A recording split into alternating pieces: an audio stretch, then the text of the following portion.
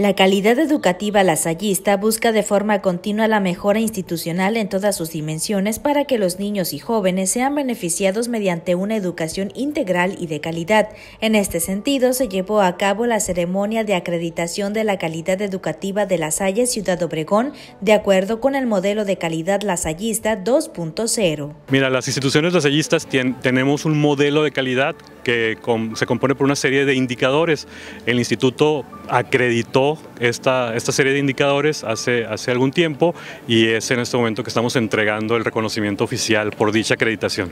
Es cumplir con la filosofía de la mejora continua, es que cada uno de los procesos que se realizan en la institución estén planeados, pensados y que cada, cada vez estemos mejorando esos procesos para llevar una mejor educación a todos aquellos que, que tenemos en nuestras aulas. Fue a partir del año 2002 cuando el colegio inició con el proceso de calidad y en 2014 se logró la acreditación en la primera versión. Fue en 2024, después de practicar la mejora continua y arduo trabajo, cuando se dictamina la acreditación de la calidad educativa del Instituto La Salle Ciudad Obregón.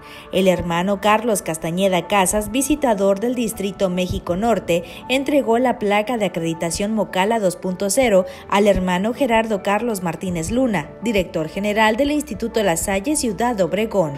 La calidad no es un acto, es un hábito. No hay que hacer las cosas bien una vez. Para hablar de calidad hay que hacer las cosas bien, siempre.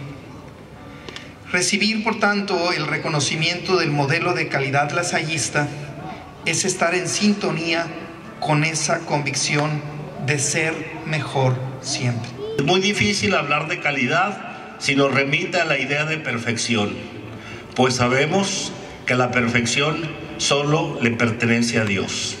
Por eso, al mismo tiempo de recibir esta acreditación, es para todos nosotros un compromiso de seguir en este proceso y a partir de estos momentos entramos a trabajar el nuevo modelo educativo 3.0.